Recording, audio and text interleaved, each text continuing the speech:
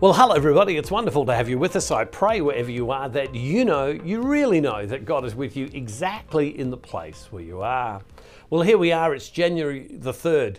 The year is flying by, don't you think? I mean, it seemed like it was only yesterday that it was Christmas Day, and here we are already on the 3rd of January. I don't know about you, but as I have got older through the years, uh, it seems that the years seem to come around just that so much quicker in a couple of days' time on Friday, it's my birthday. And my children have already started coming to me and saying, Hey, Dad, what do you want for your birthday? And my answer is going to be pretty much the same as it was for Christmas. Well, I don't want anything really because I don't know what I want. It's not that I don't like gifts, I do. But, I, but there's nothing I really want. And in, in the end of the day, what I would really like is what would be really very meaningful to me is that they would either call or they would come and see me. That's really all I would really would really like. Would really like. Something happens to you, you know, whereas once I wanted a present, now I want a present of their presence, uh, if that makes sense. Well, St. Paul writes a beautiful passage of scripture, and he's in prison. And it's not the only time he'll be in prison, but he's in prison, he's awaiting trial. And he writes to a little group of people in Philippi. Philippi is this uh, little town in, in Greece. And he's brought some of these people to faith, and just a handful of them. The early church in Philippi was just a handful of people. And here he is in prison, not knowing what his future will be, but it could be really serious. He writes to them, and you can tell he's in a reflective state. And the scholars tell us something about this passage of scripture, which is beautiful. And in a sense, as we launch into a new year, into a new stage in our life, maybe new moments in our life, there's something really in this about how we're meant to think. How we're meant to think, because the scripture say, says, as we know, and as I quote often, as you think is how you go. And so from Philippians chapter 4, verse 8. And Scott, I'm going to ask you if you just highlight a few words for me as we go along the way. Finally, beloved, whatever is true, highlight true. Whatever is honourable, highlight honourable. Whatever is just, highlight just. Whatever is pure, highlight pure. Whatever is pleasing, highlight pleasing. Whatever is commendable, highlight commendable. If there is any excellent and is there any worthy of praise, think about these things. Highlight, think about these things. Keep on doing the things that you have learned and received and heard and seen in me, and the God of peace will be with you. Now let's read it again. Right? Finally, beloved, whatever is true, whatever is honorable, whatever is just, whatever is pure, whatever is pleasing, whatever is commendable, if there is any excellence and if there is anything worthy of praise, think about these things. Keep on doing the things that you have learned and received and heard and seen in me, and the God of peace will be with you. Um, uh, it's a beautiful passage of Scripture, a really beautiful passage of Scripture. Paul, from his cell, thinking about this group of people that he's particularly affectionate about, he's saying, Let me t- uh, talk to you about what it is to have a wholesome thought life. He's towards the end of the letter and he's saying, let, let me tell you about what it is to think in a wholesome manner. And, and he says, he says, whatever is, whatever is uh, true, um, which is the honest, uh, which is the, the opposite of dishonest and reliable. Whatever is not uh, dishonest and reliable, think about those things.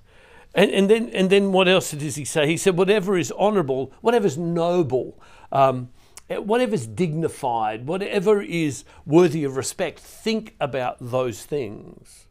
And then he goes on and he says, whatever is just, which is all about conformity to God's standard, right?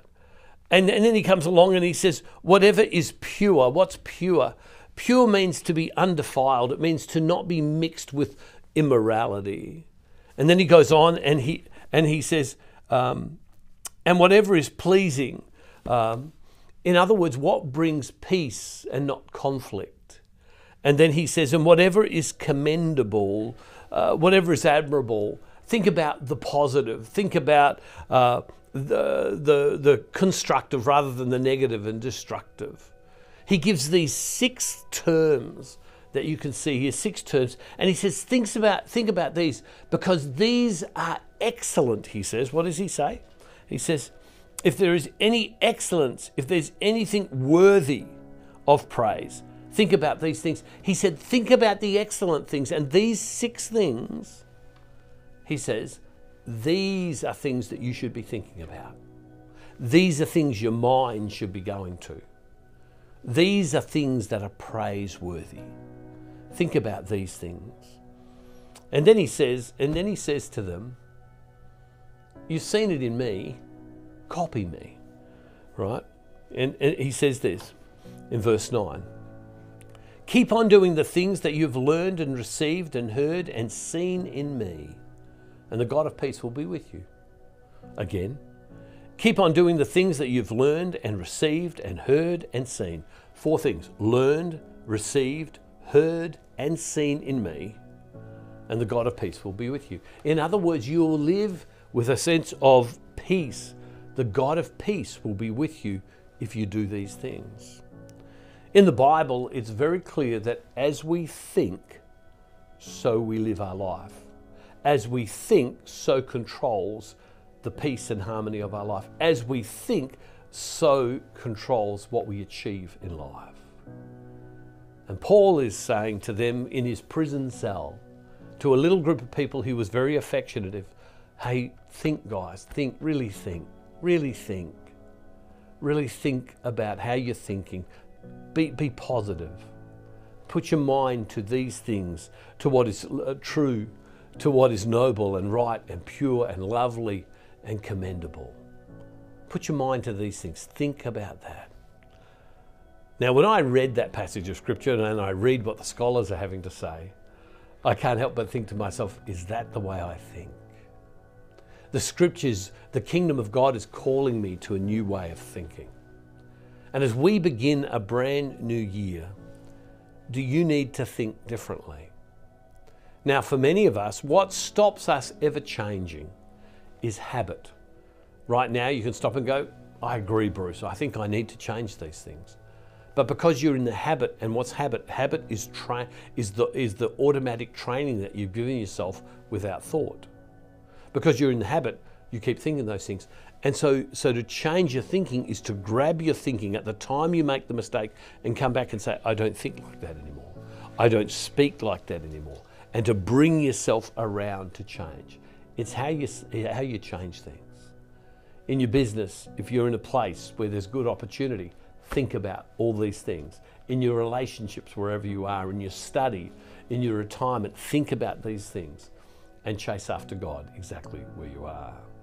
Well, Lent 2022 is next month, uh, 2022, 24. Um, I don't know where I am. See, I told you I was lost, lost for time. Lent 2024 is next month. I want to ask you if you'd help us to reach more people. I know many of you have, and if you have, thank you very much. But if you haven't, can I ask you, would you help us to reach more people?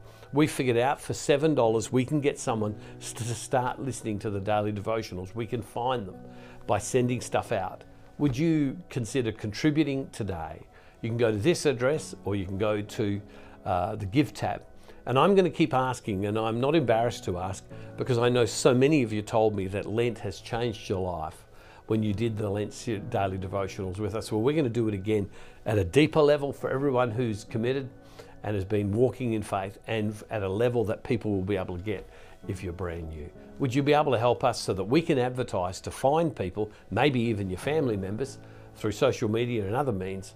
Would you go to this address and help us reach more people this Lent so that they would encounter God more deeply? Father God, we come before you right now. Lord, there are so many people who need to encounter you, so their thinking changes. Lord, allow us to think about what is true, noble, right, pure, lovely, and admirable. That you, Lord God, would be present with us in a fresh and beautiful way. And Father, we make this prayer in Jesus' name through the power of your Holy Spirit. Amen. Hey, God bless you all, everybody. Love you very much. So grateful for your many, many messages, for your support, and uh, uh, you really move me very deeply. Hey, talk to you tomorrow, and don't forget, wherever you are, God's never ever far from you.